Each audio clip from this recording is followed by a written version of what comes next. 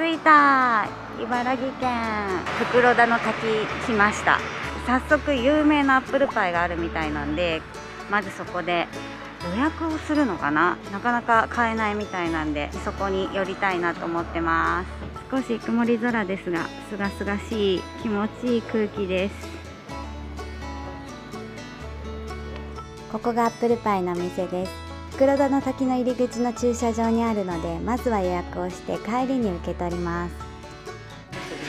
あー楽しそう。いろんなお土産屋さんがずらり並んでます。袋田の滝。ここは蕎麦屋さんかな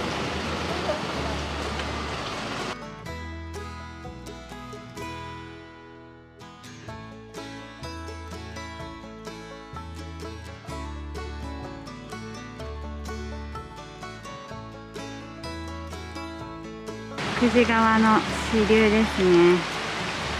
せらぎのいい音ひんやりとしてる。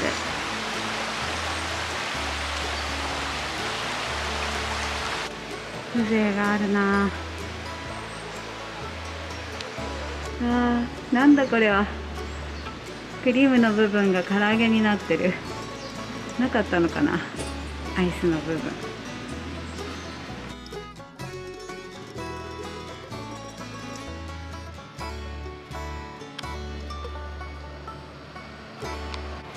梅が綺麗。入り口着きました。入場券を買ってトンネル。袋田の滝へはここをくぐっていくんですね。面白いな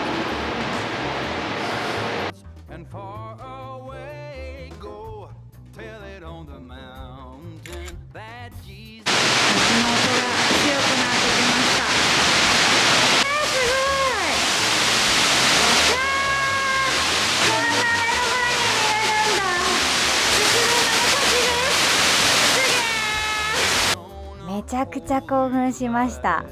その声がかき消されるぐらい滝の音量が強かったんでここはちょっとアフレコにします。これは壮大でしたね。水しぶき小さいしぶきが飛んでくるぐらいの距離感でくー気持ちいい。ずっと眺めてられる。糸のような滝の流れ。そしてね袋田の滝は4度の滝って言われてて4段になってるんよね。一番上の1段2段3段4段見えますでしょうか？続いてはエレベーターで次の展望台へ向かいます。また違う景色で袋田の滝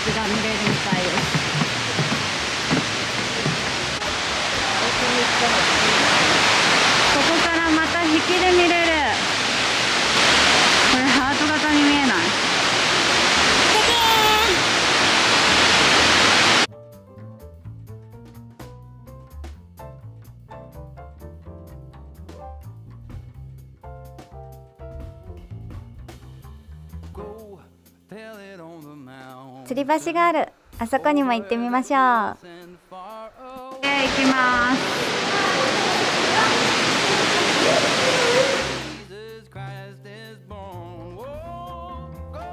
吊り橋に行きます。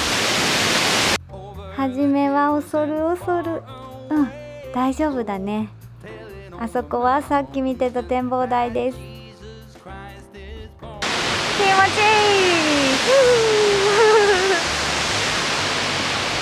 く揺れるぐらいかな。そんなに怖くはありません。整備されてるから吊り橋と言っても全然大丈夫だった。夏も気持ちよさそうだね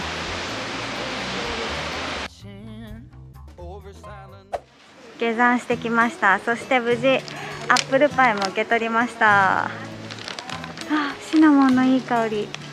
ほかほか美味しそう。青空の袋田の滝もきっと綺麗なんだろうけど曇り空もなかなか霧がかかった感じでふわっとした幻想的な中見れてよかったです。それでは今から大子町の駅前に行ってきます。つやんつやんで美味しそう。ふっくら。